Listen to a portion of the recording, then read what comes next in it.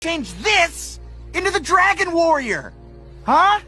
Fuck you! You fucking dick!